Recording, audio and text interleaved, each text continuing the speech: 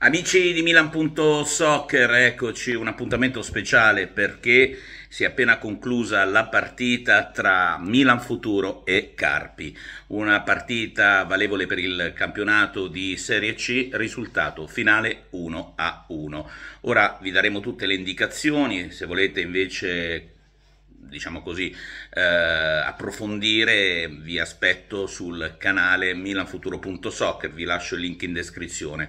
Comunque iscrivetevi anche a questo canale, mettete un like al video, il pollicione e attivate la campanella. Allora, c'erano degli osservati speciali, sì, perché purtroppo i difetti che stiamo riscontrando nella nostra prima squadra. Sono alcuni clamorosi e allora bisogna andare a vedere che cosa c'è considerando che i parametri zero sono nomi che non stimolano affatto e invece in uh, questa squadra, la squadra di Milan Futuro, ci sono alcuni giocatori che a mio modo di vedere, ma è un modesto parere, sono già pronti.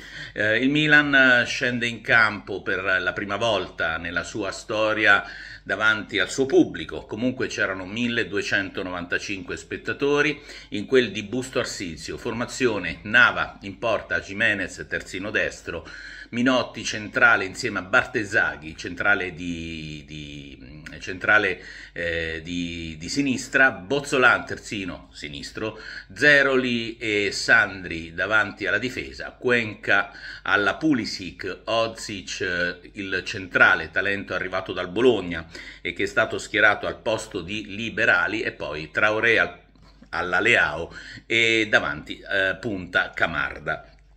Dicevo, ci sono, c'erano, ci sono degli osservati speciali, perché la pazza idea che sta, eh, diciamo così, venendo in testa a eh, Mister Fonseca è quella di attingere, ma non i soliti nomi, Zeroli, o, piuttosto che Camarda, piuttosto che Liberali, ripeto, oggi era in panchina, quanto piuttosto osservato speciale era Jimenez. Io ho visto tutta la partita, non so quanti di voi hanno avuto modo di vedere la partita e devo dire che per me è stato uno dei migliori in campo. Un giocatore molto coriaceo, aggressivo, veloce, spinge, ricorda, ricorda, eh, ricorda, ricorda, forse anche perché gli assomiglia, ma ricorda un po' il Teo, eh, con le giuste distanze e i giusti termini di paragone, però è un giocatore che secondo me in questo momento supera sia Emerson Royal che Calabria, un giocatore che ha dato tanto e soprattutto ci sono altri due osservati speciali, uno in particolare ma lo vediamo più tardi. E il Milan inizia bene con Traoré sulla sinistra eh, e poi sicuramente con uh, lo stesso uh, Jimenez che all'inizio a settimo minuto salta bene l'uomo. Eh, ho scritto qui tra i miei appunti sembra il vecchio Leao adesso ho esagerato. Forse e mette una bellissima palla in area. Nono minuto bel contropiede del Milan ma adesso non vi faccio tutta la telecronaca o comunque la sintesi della cronaca perché la potrete trovare appunto sul canale milanfuturo.soccer.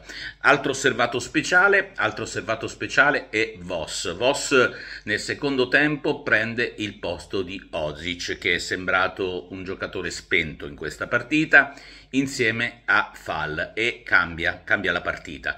Voss eh, andate a vedere il gol se vi va, e vi posso dire che l'ha costruito lui il gol del pareggio, sì perché eh, c'è il Carpi che passa in vantaggio, il Milan tiene decisamente la palla, tiene le redini del gioco, anche se poi l'esperienza di alcuni giocatori decisamente eh, più esperti per questo campionato a volte poi fa la differenza.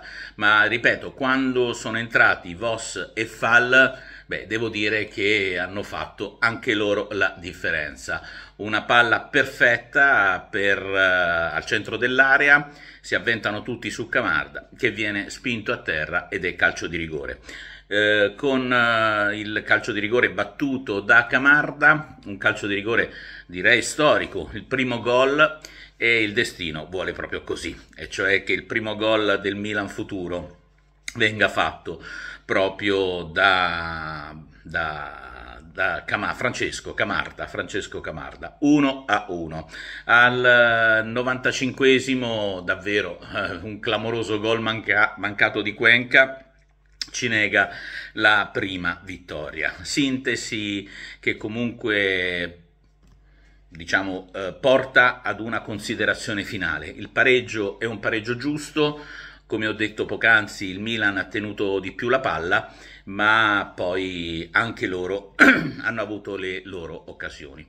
Eh, Fonseca ci sta pensando perché il calciomercato non è stato un calciomercato Pavlovic a parte che possa dirsi sufficiente per poter far crescere il Milan dell'anno scorso, per potersi migliorare. E allora visto e considerato che, ripeto, i parametri zero non sono all'altezza di farci fare il salto di qualità, direi che come ho chiuso il video di stamattina, Milan, fai come fa la Juventus, metti dentro questi ragazzi perché Voss è veramente, non so come definirlo, ma fisicamente, strutturalmente forte, molto forte e il piede è anche molto educato, quindi io ho una chance, è chiaro, l'ho visto solo una partita, solo oggi contro il Carpi, giocare a San Siro con 75.000 persone, un derby piuttosto che, eh, beh, insomma, è cosa diversa. Alcuni giocatori sono davvero maturati, su tutti direi Bartesaghi e Zeroli. Camarda ha avuto poche occasioni, ma il Milan, eh, non, eh, pur tenendo molto la palla, non ha creato un numero clamoroso di palle gol, però Francesco si è ben mosso.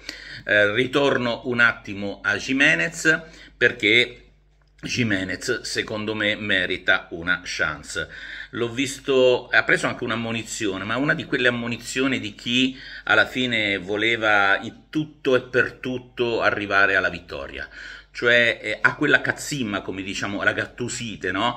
che manca a molti giocatori. E soprattutto quando facciamo, io ho rivisto i gol che abbiamo preso col Parma, ho rivisto i gol che abbiamo preso con la Lazio, il problema non è solo di qualità, il problema è anche di corsa, cioè non, eh, se loro vanno sia, ehm, sia Calabria che Emerson Royal non riescono a riprendere il giocatore quantomeno Jimenez ha questo tipo di capacità, cioè quello di rientrare e di recuperare in maniera anche convincente.